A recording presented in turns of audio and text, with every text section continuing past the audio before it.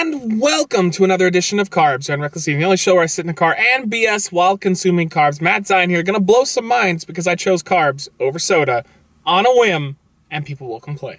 Go ahead and check out our gaming channel, Zion Mainframe Gaming, by clicking right there, the annotation. It'll take you on over to our YouTube channel that does gaming let's plays, asshole plays, and sexual plays.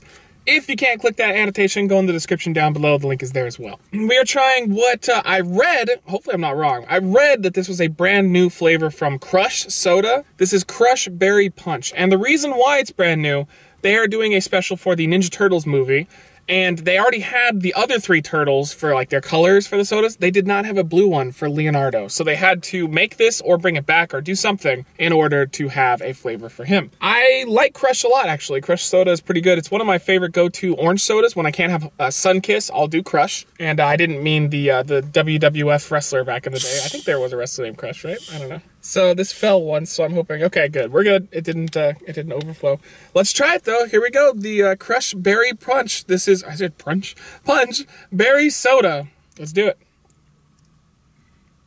It's got some nice carbonation in it. It feels like it's a lot more carbonation than your normal uh, orange soda from Crush. It tastes just like like an Otter Pop, I guess, but in soda form. It's just like getting a slushy, but in soda form. It does taste incredibly berry-ish. I do get a little bit of punch going on in there. It's good. It's actually a really solid soda. I don't drink regular soda anymore. Uh, I don't even really drink diet all that much anymore either. I'm kind of wishy-washy on it. But if I was at a party and they were like, hey, I got some uh, Crush Berry Punch soda, bro, you want some?